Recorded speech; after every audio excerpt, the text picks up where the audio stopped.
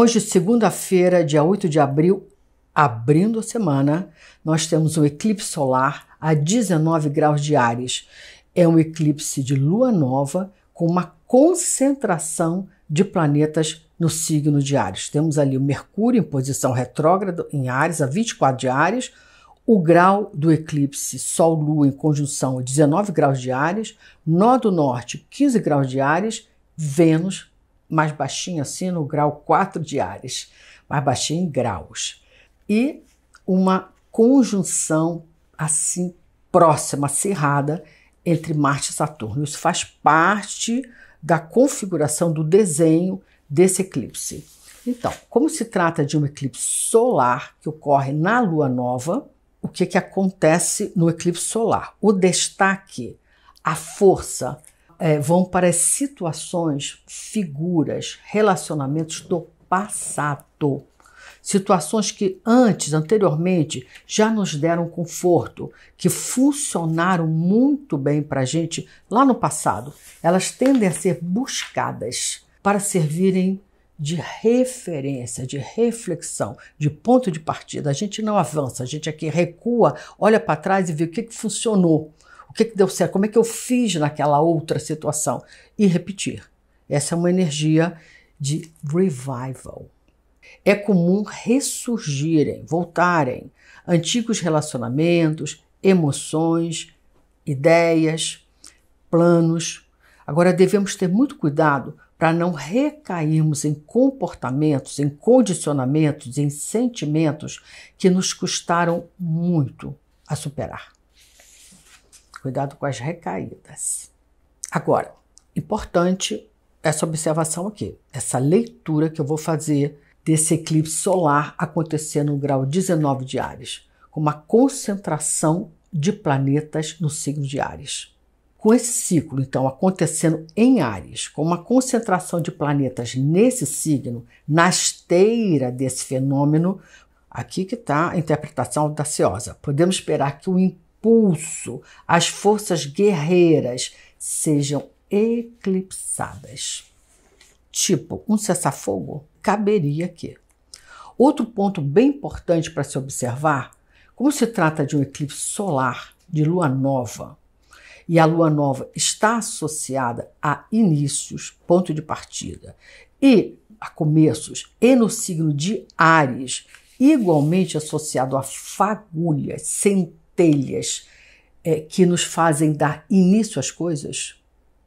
E os eclipses têm esse efeito de ocultação, desaparecimento, esmaecimento.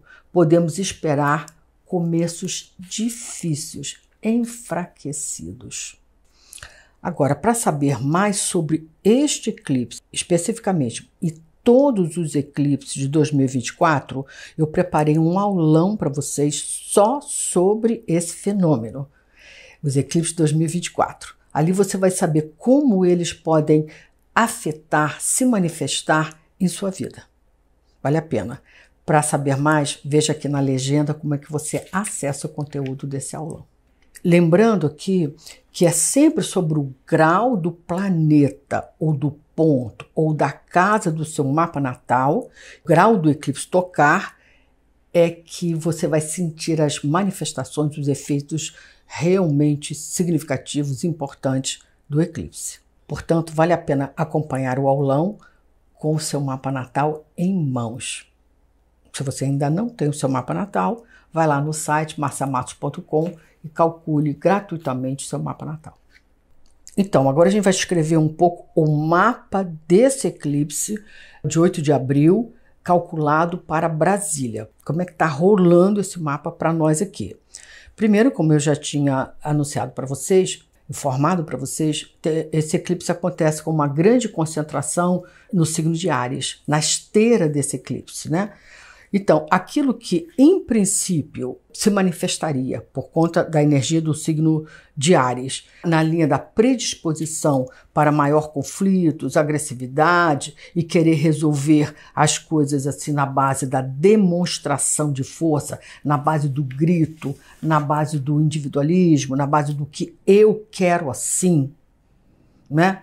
Do eu primeiro, primeiro o meu, ou do ímpeto para conquistas, inclusive territorial, no ímpeto de avançar e não negociar para bater adversários, essa seria a predisposição. Mas como se trata de um eclipse e é o Sol que está eclipsado aqui nesse momento, né, sob esse eclipse, é, a gente pode dizer que esse ímpeto de vencer a guerra dominar o discurso, a narrativa, vão estar eclipsados, vão estar sem força. Portanto, não vai dar muito certo esse grito de guerra, essa mão pesada para conseguir as coisas, como eu falei, na base da força, ou do o meu primeiro e o resto é que se exploda. Isso aí vai dar uma recuada de força, porque está sob a mira de um eclipse que tem essa energia de esmaecer, enfraquecer, desmaiar. Aliás, o significado de eclipse, a tradução do eclipse é desmaio. Ok? Mas vamos lá. Além disso, essa constelação de planetas no signo de Ares está eh, paralisada, porque o seu regente Marte está numa estreita conjunção com Saturno. Isso significa que, mesmo que eu queira avançar, eu encontro tantos obstáculos, tantos atrasos, tantos impedimentos, que eu acabo que não saio muito do lugar e acabo conseguindo conquistas muito reduzidas, para não dizer frustrantes. A combinação Saturno-Marte é uma combinação de frustração. Eu ponho uma energia em uma coisa e não levo, não rola. Isso significa que temos é, menos lenha disponível para se pôr na fogueira, ou menos munição para o nosso arsenal. As conquistas são árduas, duras, de todas as ordens, e custam muito mais esforço e tempo do que a energia ariana aprecia. Fora isso, temos Mercúrio retrógrado encostado, coladinho no grau dessa lua nova, no grau desse eclipse. Portanto, se aproximando, né, andando para trás, Mercúrio retrógrado, para tocar o grau do eclipse. E isso quer dizer que essa energia do Mercúrio retrógrado traz muitos assuntos de volta para serem repassados, revisados, discutidos, ou seja, questões importantes não estão encerradas, nem para mim, nem para você. Fora isso, no mapa do eclipse calculado para o Brasil, o grau do eclipse se encontra, junto com esse super elenco ariano, se encontra posicionado na casa 8 desse mapa. Como o eclipse também tem um lado, um efeito de intensificar ou até mesmo transbordar, ok? A gente vai ver que assuntos associados à casa 8 podem ter uma manifestação intensificada, podem aumentar o seu nível de expressão. Por exemplo, déficit fiscal, endividamento, taxa de juros, reforma tributária, arrecadação, impostos, atratividade para investimentos estão sob a regência desse eclipse. Melhor estar fora da mira dele e fora das sombras das dívidas para não entrar no vermelho.